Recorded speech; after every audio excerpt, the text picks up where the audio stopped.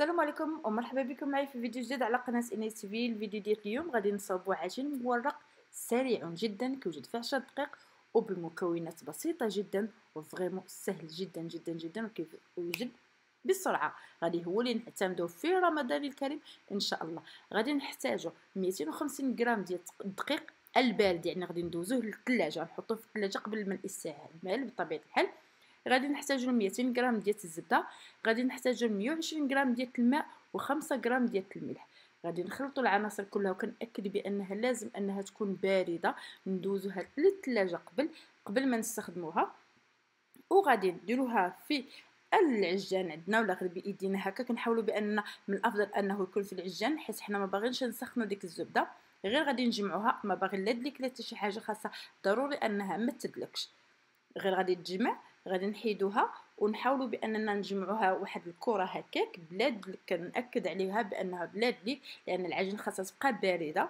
إلا شفتوها سخنت نحاولوا ندخلوها الثلاجه ولكن هي ما غاديش تسخن حيت لأن vraiment العملية كاملة كتاخذ 10 دقائق لا أكثر. غادي نكوراها هكاك ومن بعد غادي ناخذ الدلاك وهو وغادي نبداو في عملية ال feuilletage أي التوراق هاد العملية ديال التوراق قد ما ورقنا فيها قد ما عطاتنا توراق أكثر وهي هذيك هي اللي كتدي لنا النجاح ال pâte feuilletée.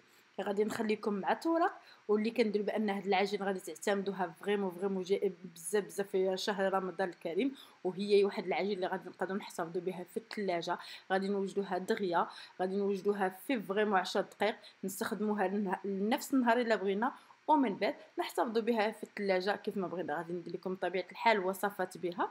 وهذه هي العجينه اللي غادي نعتمدها أنا لرمضان 2020 نبقاو مع التوراق دمتم في رعاية الله